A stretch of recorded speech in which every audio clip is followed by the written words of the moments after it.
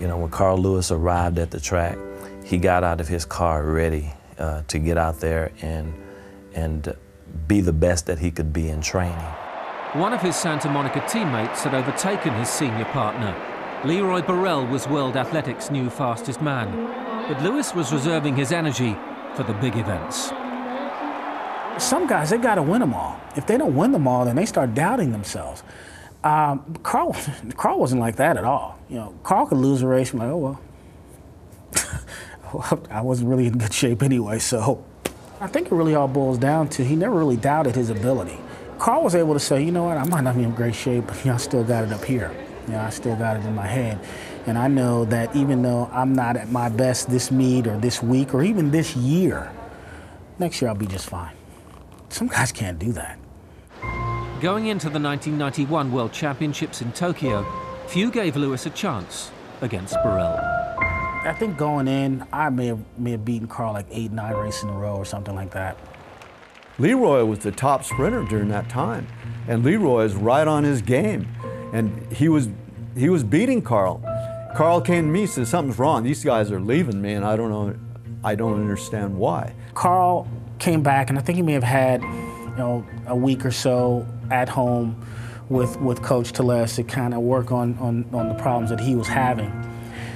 And when we came back and finally were able to train together when we went back to Tokyo, uh, Carl was looking a lot, a lot better. And I was thinking at that point, boy, this ain't gonna be easy. He's, he's kind of gotten things a little bit better there.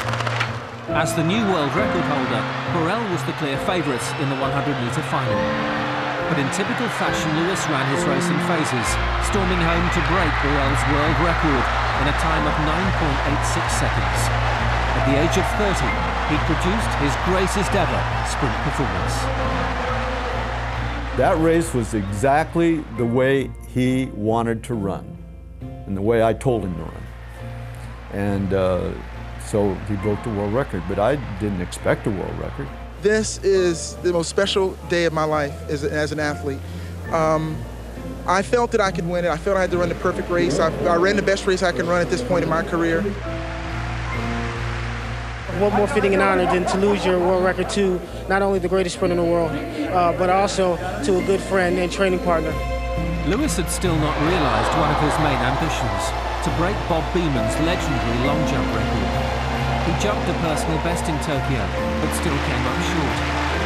Mike Powell produced something special, a world record of 8.95 metres, inflicting Lewis's first long jump defeat in 10 years. But as Lewis and his coach always stressed, it was the Olympics that mattered most. In Barcelona in 1992, he won gold in the long jump for a third successive time. Then another gold in the 4x100 relay, leading a Santa Monica-based team to a world record time. Lewis was now a veteran. Injuries and poor form meant he missed the next two World Championships. But his focus was on the 96 Olympics in Atlanta. I'm going to have a season next year that's going to surprise everybody. That's, that's not, um, you know, talking, it's not brag, it's not boasting. It's just saying what I'm going to work for, and I know physically what I can still achieve and what I expect to do. Lewis trained for the long jump like never before. His longevity in such a physically demanding event was astonishing, especially at the age of 36. I think in 96, he was ready to jump really far. And I thought he was as fast as he's ever been on the runway in 96. On a windy day in Atlanta's Olympic Stadium, Carl Lewis won the long jump for an incredible fourth time. His ninth Olympic gold.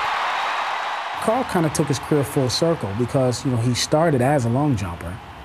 And, and he, he had a tremendous amount of success and won several medals in sprints.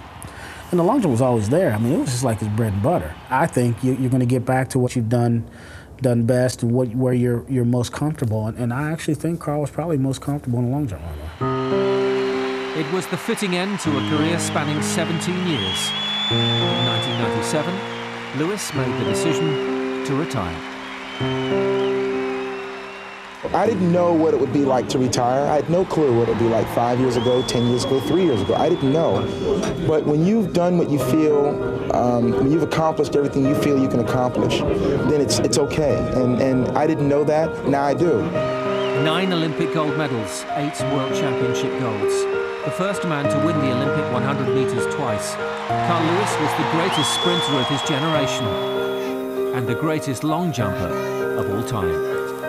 I think he did an incredible job of learning the fundamentals and the principles of sprinting, you know, from an early age and even and, and mastering them, you know, to such an extent that he could still execute them even though, you know, 80,000 people are watching.